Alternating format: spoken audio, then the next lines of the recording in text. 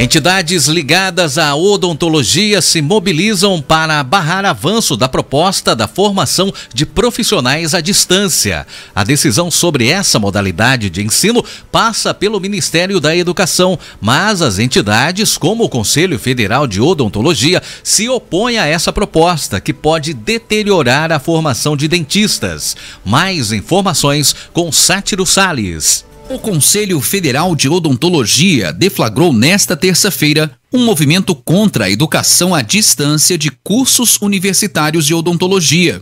A entidade se mobiliza para elaborar um abaixo assinado digital durante o Congresso Internacional de Odontologia de São Paulo, com cerca de 100 mil participantes. O documento será encaminhado ao Ministério da Educação. A proposta de ensino à distância para os cursos de odontologia tramita no MEC desde 2022 e é criticada por entidades de cirurgiões dentistas e gera uma dura reação de especialistas que defendem a necessidade de uma formação profissional presencial. O argumento das entidades é que essa modalidade de ensino à distância coloca em risco a qualidade da formação dos profissionais e dos atendimentos. Essa ideia, se implementada, porém, vai trazer prejuízos irrecuperáveis à saúde da população. A odontologia não é uma disciplina teórica. O exercício responsável da odontologia resulta de muita prática. Sem uma vivência clínica consistente, o primeiro a ser prejudicado será o paciente.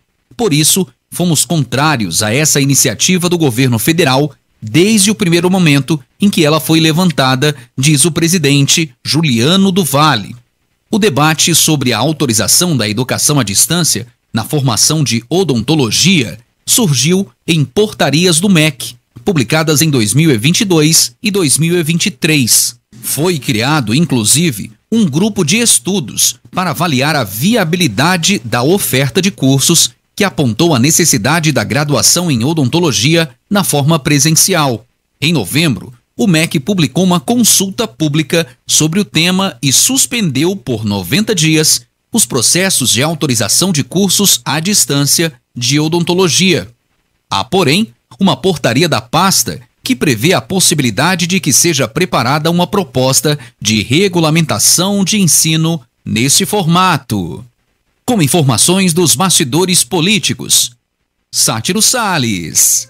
Olha, o Sátiro Salles traz aí um tema polêmico que não interessa apenas a discussão dentro de, do ambiente da universidade, do MEC, do Ministério da Educação, que é quem compete autorizar a, a, o funcionamento desses cursos dos EADs, os chamados ensino à distância. Porque é o seguinte, olha, eu não vejo a odontologia como uma disciplina teórica, não é um curso de filosofia, não é um curso de sociologia, não é um curso de história, por exemplo, onde você realmente pode estabelecer outros critérios de ensino à distância sem que haja tantos prejuízos, mas é um curso que tem uma carga altíssima de disciplinas teóricas, mas principalmente de disciplinas práticas. Como é que um estudante de medicina, de odontologia, perdão, que está fazendo, por exemplo, um curso desse EAD à distância, como é que ele vai ter essa vivência? A vivência que eu digo é a vivência clínica, de estar dentro de, de, de, um hospital universitário, por exemplo, de estar numa clínica mantida ali pela universidade para fazer aqueles atendimentos. Quer dizer, eu acho que o primeiro a, a ser questionado e a ser prejudicado aí é, o, é a população, é o paciente. Então, esse é um tema que interessa de fato para além dos muros da universidade. Interessa, por exemplo, para a própria população. Que tipo de profissional, de odontólogo, eu vou ter para me prestar assistência saindo de um curso EAD. Com todo respeito, eu acho até que pode ter casos de pessoas, e aí eu não acho que seja regra, seja exceção, que já tem alguma prática, seja lá como for, mas que vai regulamentar isso para tornar essa possibilidade de, de, de formar profissionais de odontologia no, nesse formato, eu acho algo realmente muito polêmico. Por isso que eu fico até curioso de saber, mesmo dando um prazo de 90 dias para esse grupo de estudos aí para apresentar propostas,